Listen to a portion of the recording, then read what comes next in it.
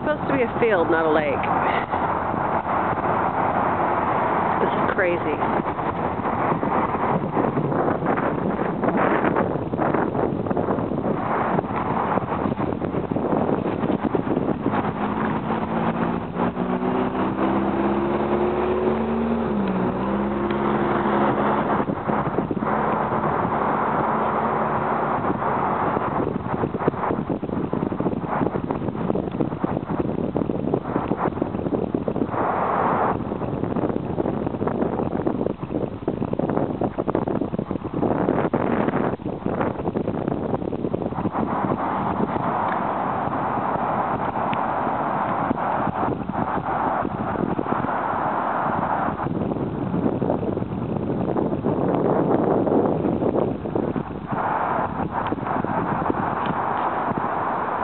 I don't think we'll be driving through there.